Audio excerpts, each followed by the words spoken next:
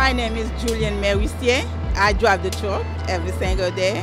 Long time ago, men used to drive the big truck, big equipment. But me, I like driving the big truck because I used to drive school bus for the county, so I used to, and I like it. My name is Odalis Macias, and I work for the City of Miami Solid Waste Department for the last 15 years.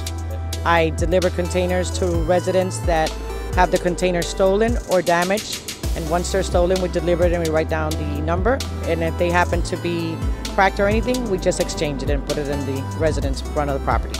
I like working outside. I make magic because I always keep the citizens happy with the delivery of the containers. Sometimes the citizen says, wow, a woman is working doing it. But to me, I think a woman can do whatever a man can. Uh, she helps me with the containers as well. So it's a great help to have someone to help you.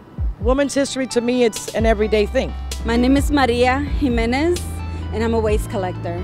And at the end of the day, I also do my inspection for the second time, leave the truck ready for the next morning and in the next morning, I do a quick inspection and I'm good to go. Do the same routine over again. I'm a hands on person and I just love my job. It's wonderful when people come up to you and say, Oh, thank you for doing such a good job, you know, and that means a lot to me because I take pride in what I do just by going out there and making it all clean and beautiful and create a great atmosphere. It's beautiful. To me, that's magic. My name is Valerie Abel, and I'm a garbage truck driver. This is the one-arm bandit, and the other one is the saddle dog. Every day that we come in when we finish our route, we gas the truck up and we clean it out for the next day.